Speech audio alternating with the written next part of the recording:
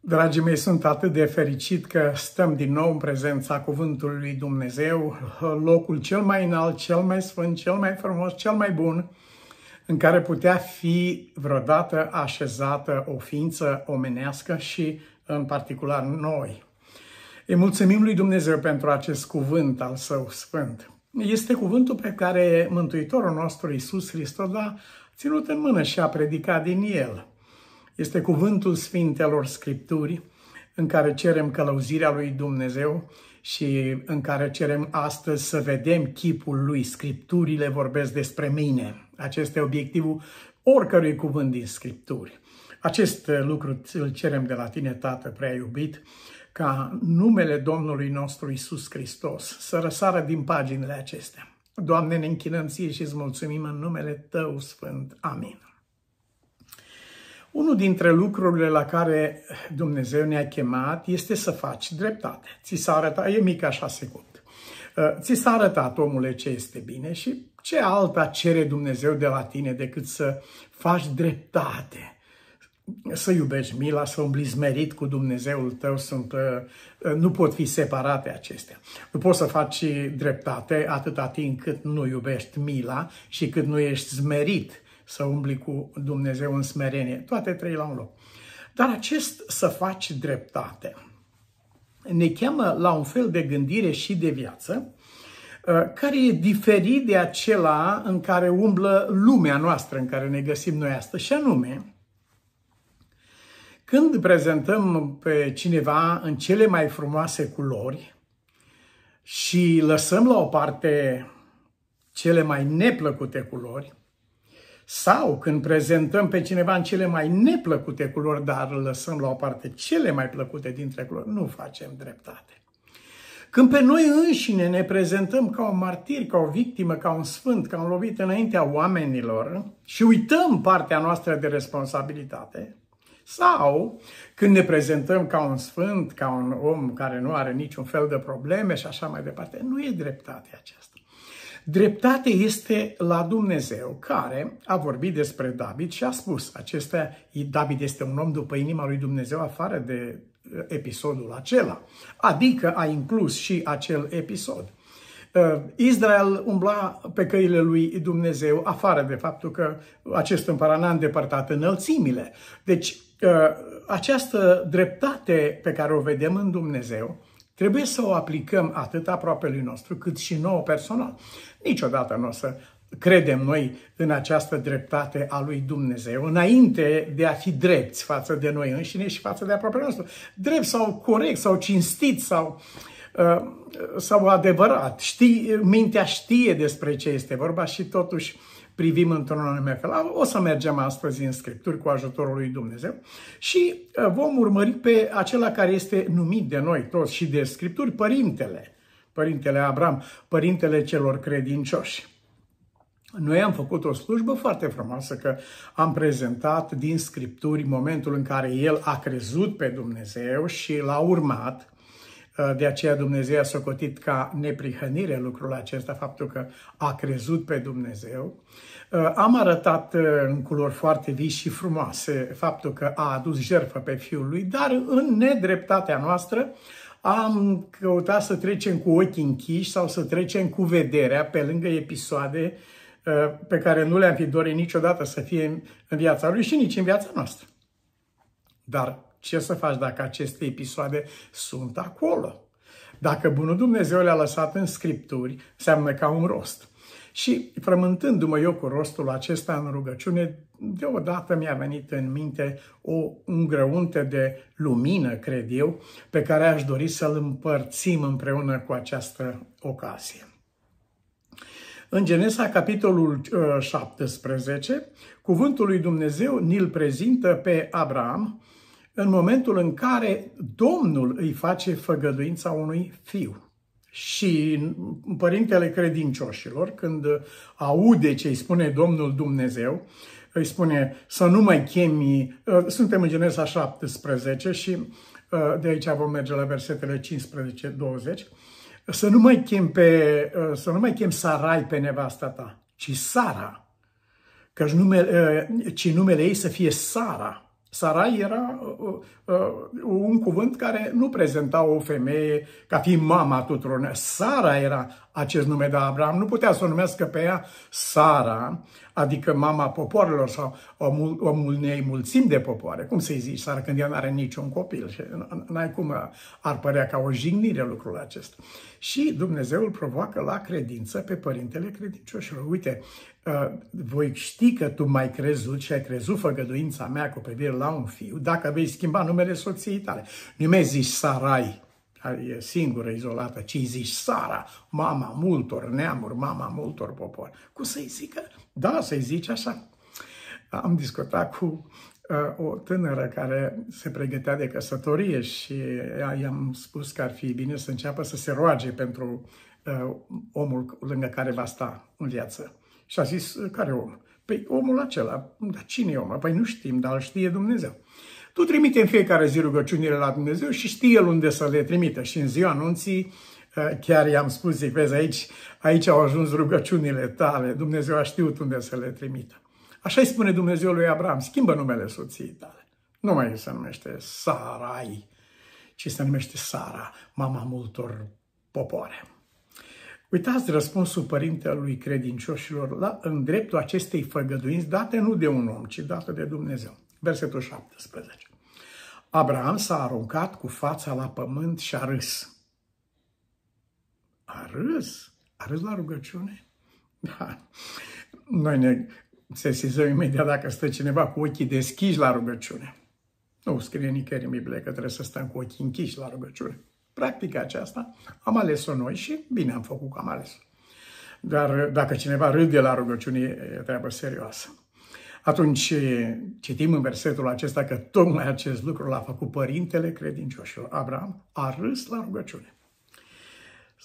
Prima concluzie pe care o tragem de aici este că el nu e numai părintele celor care ies din țara lor și ascultă de Dumnezeu, nu e numai părintele celor care aduc jertfă, mergi pe muntele acesta și aduc jertfă, ce ți mai scump în ochi. Nu e numai părintele, ci este și părintele celor care râd la rugăciune. Sunt unii oameni care nu numai că nu pot să ia în serios făgăduința lui Dumnezeu, dar cumva izbucnește, cumva izbucnesc în râs. La ora aceasta, el avea pe Ismael deja, era fapta lor, a Sarei și a lui și Agar din Egipt, combinația aceasta. La ora aceasta el avea deja pe Ismael. Dumnezeu nu se împiedică în necredința noastră, ci planul lui este așa de înalt, așa de binecuvântat, încât se va împlini în ciuda necredinței noastre. El a râs la rugăciune. Lucrul acesta, râsul nu era un râs de jocură, ci era un râsul neputinței de a crede. Nu pot să mai cred că un om, că așa și spune el în textul acesta, în versetul 7, să-i se mai nască oare un fiu unui bărbat de 100 de ani. Da. Și să mai nască Sara la 90 de ani. No. Nu, nu, așa ceva. Adică e peste putința mea de a crede. Aceasta înseamnă, practic, râsul lui. Dragii mei, am avut o uh, rugăciune, am înălțat o rugăciune personal, cândva, într-o anumită conjunctură. Președintele de atunci al conferinței generale s-a pronunțat în dreptul meu într-o situație, am auzit, mi s-a spus. Și uh, aleg întotdeauna să cer acest uh, lucru în cuvinte simple, dă-mi ocazia să-i fac un bine uh, acestui om. Ocazia a venit de neimaginat. Și când am stat de vorbă cu el, i-am spus, domnule președinte, um, aș vrea să crezi ce-ți spun acum, și anume că zilele tale cele mai frumoase nu sunt cele pe când erai președinte al conferinței generale, ci sunt de acum încolo, când nu mai ești și ai un singur ministri, cum avea dumnealui Shea Him. Și s-a uitat la mine cu acest fel de râs. Și mi-a spus, zice, astea le-am spus și eu la multă lume. Ă, soția lui Anita a sesizat ă, alunecarea lui în credință și l-a tras ușor de mânecă și a spus accept it. Și atunci el s-a resemnat sau așa să zis, mulțumesc, mulțumesc frumos. Dragi prieteni, în viața acestui mare om al lui Dumnezeu a fost adevărată. Cele mai frumoase zile au fost după aceea, nu după părerea mea, ci după mărturia dumnealui. Am revenit și am stat de vorbă. M-a cerut să-i trimit un e-mail cu tot felul, în fiecare zi, dacă pot, cu tot felul de uh, episoade din lucrare și din viața mea și i-am trimis. Uh, când am văzut uh, evoluția dumnealui pe scena lumii, în lucrarea pe care o făcea, i-am scris un e-mail și am spus, uh, ai văzut că robul tău ți-a spus că va fi, cele mai frumoase zile sunt în fața ta, nu în spatele, în spate, unde, când, pe vremea când erai președinte. Și dumnealui mi-a scris înapoi, zice, n-am putut să cred, nu că n-am vrut, n-am putut să cred cu acea ocazie, acum însă am văzut cu ochii mei, cred din toată inima mea. Abraham a râs. El este părintele celor care râd la rugăciune. Și râsul lor la rugăciune, râsul nostru, râsul meu la rugăciune, este legat nu de uh, nemernicia mea sau de neputința mea, ci este legat de mărimea uh, imposibilă mărime a făgăduinței lui Dumnezeu. Cum să nu râzi, frate, un om de 100 de ani îmi spui mie, eu de-abia îmi trag picioarele pe stradă, soția mea sărmana tușește, e cocoșată și 90 de ani și îmi spui tu mie că, uh, băi, îți spun eu, e așa i-a spus lui Iosua, deci dacă ți-am spus eu, tu nu te uiți cine îți spune așa ceva. Nu ce spune. Uite-te cine spune așa ceva. Și în momentul în care cel care spune așa ceva este Domnul, nu mai e loc pentru râsul nostru. Dar în afara faptului că el a considerat făgăduința imposibilă și el e părintele celor care cred că e imposibil să se întâmple așa ceva, este părintele nostru al tuturor care avem trebuință să ne pocăim la fiecare pas și să rostim rugăciunea omului aceluia. Cred, Doamne, ajută necredinței mele. Aceștia suntem noi, la fiecare pas. În afară de lucrul acesta, că el s-a îndoit de condiția lui, în epistola către roman spune, fără să se uite la bătrânețea lui și la asta, asta înseamnă că s-a pocăit. Pentru că amândouă sunt adevărate. Pe de o parte și că a râs în rugăciune, pe de altă parte că nu s-a îndoit Uh, de acela care a făcut făgăduința. Ambele sunt adevărate, între ele a intervenit pocăința lui Abraham de necredința lui. El s-a pocăit de necredința lui. Uh, uh, suntem înclinați nu numai să ne îndoim de posibilitatea sau de puterea lui Dumnezeu în a împlini în viața noastră planului, dar suntem înclinați să înlocuim să facem propriul nostru plan care pare că e mult mai bine uh, și mai așezat decât cel care l-a făcut Dumnezeu. Chestia asta cu să ai un copil la 100 de ani și ea la 90 de ani și ah, e departe. Și atunci în partea, uh, în versetul 18, Abraham i-a zis lui Dumnezeu să trăiască Ismael înaintea ta, Doamne, să nu mai vorbim de Iacov și de uh, nașterea lui Isaac, cel care venea, să trăiască Ismael. Ajunge atât, dar ce să facem? Ai spus de mulți ani, Doamne, că așa și nu s-a întâmplat. Și uh, de când au adormit părinții noștri, spun ei cei din uh, Petru de acolo, făgăduința lui Dumnezeu, e pare că va sta în picioare, dar de fapt niciodată nu s-a împlinit, așa că uh, rămâne așa. De când au adormit părinții noștri, toate rămân așa cum au fost de la începutul zidirii, deci n-are rost să mai discutăm despre lucrul acesta. Iubiții mei, cuvântul lui Dumnezeu nu se împiedică în așa ceva, nu se împiedică nici chiar în necredința noastră. Dacă ar depinde de credința noastră, nu s-ar întâmpla nimic, absolut nimic. Sunt unii oameni care se judecă, se condamnă că n-au de ajuns credință. Sunt și predicatori care îi condamnă public. Uh, n-ai credință, de-aia nu te vindeci și așa mai departe. Uh, este o eroare fundamentală aceasta. Este o casă pe nisip, n-are niciun viitor. Uh, de ce spun lucrul acesta? Cu privire la vindecare sau cu privire la împlinirea făgăduințelor din viața mea, noi nu stăm înaintea lui Dumnezeu pe credința noastră. Dacă ar fi așa ceva, atunci nu s-ar întâmpla nimic bun cu nimeni, că nu este niciunul, niciunul măcar care să creadă pe Dumnezeu pe cuvânt. Noi stăm înaintea lui Dumnezeu pe credința lui Isus.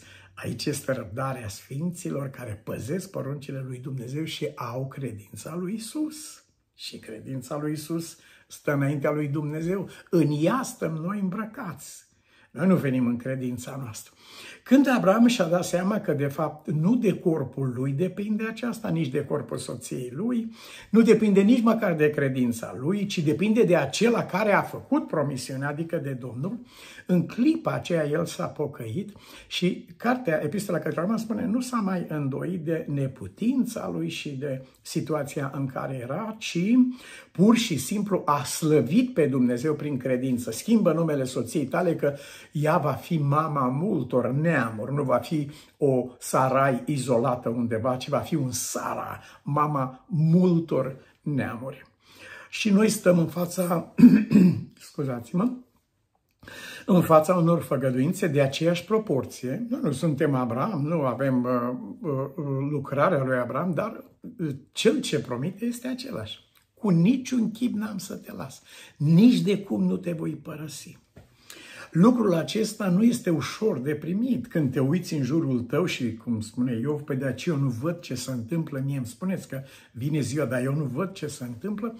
Păi una este că vezi cu ochii aceștia ce se întâmplă, cu ochii aceștia vedea și Gehazi uh, și alta este să-ți deschidă Dumnezeu ochii ca să vezi cu adevărat uh, adevărul așa cum este El în Hristos Iisus. Uh, să trăiască Ismael. Așa a spus uh, Abraham. Ne oprim aici, nu mai are rost. Uh, am stat lângă patul uh, lui Daniel Dobrică împreună cu Dorin Lătăianu și ne-am rugat în genunchi pentru el era foarte suferind în vremea aceea. Și ne-am rugat pentru el și s-a rugat el primul, a început el. Și rugăciunea lui a fost, uh, ia-mă, Doamne, în clipa asta, Doamne, dacă vrei să mă, ia-mă, Doamne, cât mai repede, chiar în clipa aceasta, dacă se poate, ia-mă, Doamne. Și în timp când, noi, când eu l-am auzit zicând așa ceva, am început să mă rog și eu cu voce tare și am zis, Doamne, nu cumva să asculți cuvintele pe care le spune omul ăsta. El vorbește de supărare, să nu asculți cuvintele omului acestuia. Și el a izbucnit în râs în rugăciune acolo, după aceea ne-a rugat toți, s-a terminat, au trecut cinci ani buni de atunci. După cinci ani l-am întâlnit și zic, Daniele, spune tu pe cine a ascultat Dumnezeu, pe tine sau pe mine? Zice, pe tine te-a ascultat Niculiță, așa mi-a spus Daniel. Dumnezeu nu ne leapă de pentru că am râs la rugăciune, am râs de neputința noastră, am râs de imposibilul situației. Dumnezeu continuă planul Lui. În versetul 19, Domnul apasă pe pedală cu adevărat pe cuvântul de onoare al lui Dumnezeu, pe numele lui Dumnezeu. Nu vorbim niște lucruri. Soția ta, Sara, nu să trăiască Ismael, aceea este ce ai făcut tu. Ismael va trăi, voi avea grijă de el, va fi un popor mare, un miliard și pe pământ în ziua de astăzi uh, arde foc în lume din pricina aceasta. Ehm, Abraham, părintele nostru, și-a pierdut credința la un moment dat și a acționat, a, a trecut prin fapte, a început să meargă prin fapte, nu prin credință, așa cum ar fi trebuit. Ehm, acum vom merge mai departe și vom asculta ceea ce scrie Genesa, capitolul 18, ehm, versetul 9. Și aici o găsim pe soția dumnealui în aceeași postură cu părintele credincioșilor. Uh, Domnul vine și vorbește cu el și îl întreabă în capitol, versetul 9, capitolul 18 din Genesa. Unde este nevasta ta? Sara, spune Domnul, nu Sarai. Unde este Sara? Unde e mama tuturor popoarelor? O, uite-o în cort, a răspuns el. Uite-o în cort. Sara aude glasul lui Dumnezeu și spune Scriptura, Sara a râs în sine. Ea este o femeie politicoasă, mai delicată, nu râde ca Abraham, h, h, h, în genunchi când era acolo, ci ea râde în sine. Uh, sunt oameni care reușesc să producă, să trăiască viața în sine și încearcă să nu... Uneori nu poți citi semnele acestea, dar nu se aplică la Dumnezeu. El imediat a văzut ce a, râs, ce a făcut ea în sine Ehm, cum ne asigură Scriptura că nu s-a produs încă gestul sau cuvântul și Dumnezeu deja îl știe. Atunci Sara, versetul 12, Sara a râs în sine, zicând, în sine, zicând, ea și vorbea cu ea însăși, Ha, acum când am îmbătrânit să mai am poftă, da, domnul meu bărbatul de asemenea e bătrân. Aceeași aceeași problemă și ea. Și uh, pentru că de atâtea ori noi avem impresia că dacă nu s-a auzit nimic la urechea noastră cea mare, înseamnă că n-a auzit nici Dumnezeu. Ba da, Dumnezeu a auzit ce ai zis în sinea ta. Dumnezeu a auzit ce ai zis în inima ta. El știe ce simți, El știe ce dorești și El știe și de bune și de rele, că de aceea este drept. El nu acopere cu privire la tine ceva care este rău să te arate numai de bine, nici nu acopere ceea ce este de bine ca să te arate de rău. Dumnezeu arată adevărul așa cum este El în Hristos Isus. Și întreabă Domnul în versetul 13, Genesa 18, pentru ce a râs Sara?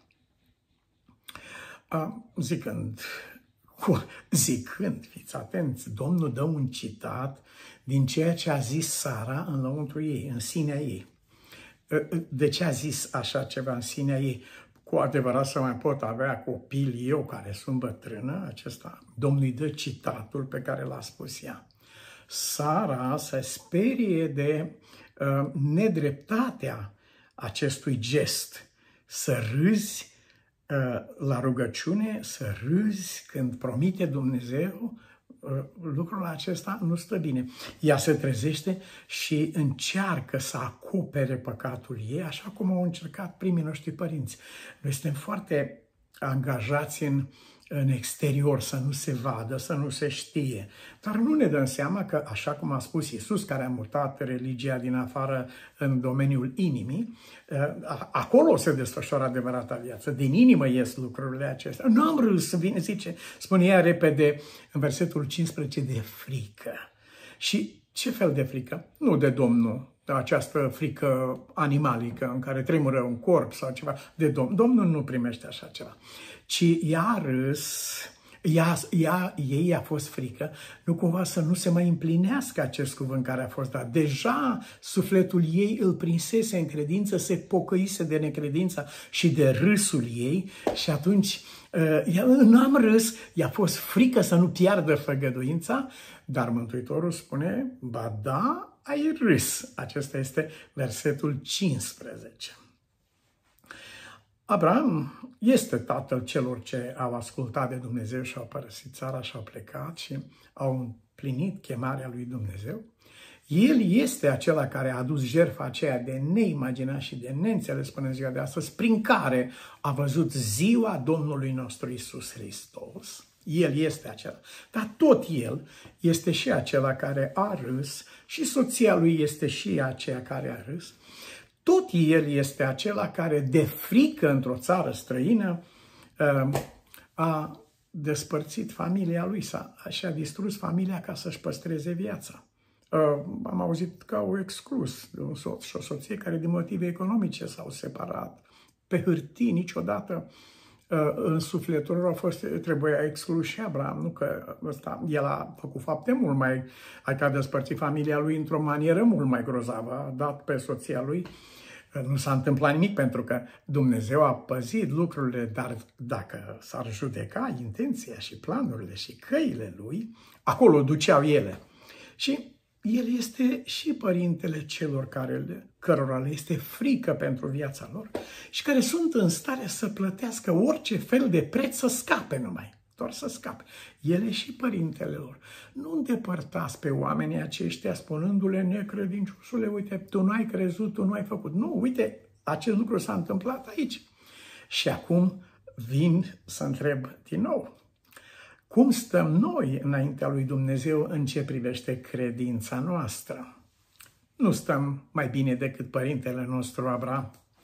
Nu stăm mai bine decât Ilie, care fuge, nu stăm mai bine decât David, care se întunecă mintea și comite acele lucruri, nu stăm mai bine decât Petru, care aude glasul diavolului și crede că e glasul lui Dumnezeu. Nu stăm mai bine decât oamenii aceștia. Stăm tot ca ei, stăm tot cu ei. Aceasta este credința noastră, care de fapt este amestecată cu necredință. Dar noi nu stăm înaintea lui Dumnezeu bazați pe această credință noastră ci stăm înaintea lui Dumnezeu pe făgăduința Domnului nostru Isus Hristos. Nu stăm pe faptele noastre, să trăiască Ismael, fapte, fapta mea, nu. Nu stăm pe fapta aceasta, ci stăm pe promisiunea aceluia care a dat cuvântul acesta. Și în epistola către romani, cuvântul lui Dumnezeu ne vorbește direct spunându-ne așa. Dacă Abraham a fost socotit neprihănit prin fapte, are cu ce să se laude, dar nu înaintea lui Dumnezeu. Acolo nu ne putem lăuda decât cu Domnul nostru Isus Hristos. Departe de mine gândul să mă laud cu altceva decât cu crucea Domnului nostru Isus Hristos, prin care lumea este răstignită față de mine și eu sunt răstignit față de lume din aceasta și prin aceasta voi cunoaște că mă laud cu crucea Domnului nostru Isus Hristos, dacă într-adevăr lumea e răstignită față de mine și eu sunt răstignit față de ea. Să venim înaintea lui Dumnezeu și să nu spunem să trăiască Ismael, ci să spunem trăiască Domnul. Și așa să ne ajute Dumnezeu pe toți. Așa te rugăm, Tată, să ne ajuți ca sufletul nostru să fie ancorat întotdeauna în stânca viacurilor. Îți mulțumim din adâncul sufletului, Doamne, că Tu ai milă de cei slabi în credință, dintre care facem parte și noi. Îți mulțumim, Doamne, că ai deschis o ușă de salvare prin Domnul nostru Isus Hristos. Stăm înaintea Ta pe credința Lui și îmbrăcați în neprihănirea Lui. Stăm în Domnul Hristos. Ce pace și bucurie în sufletul nostru. Fii binecuvântat în veci. Amin.